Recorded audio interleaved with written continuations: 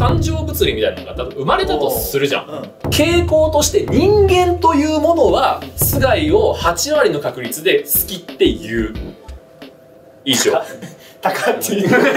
みたいなことしかえいいね。じゃあ5割にしてあげようか。いいけどいい8割にしとこう。平和に8割にしとこう。突然戻るんじゃない でもじゃあだからだからその2割はでも嫌い計算もすんじゃない。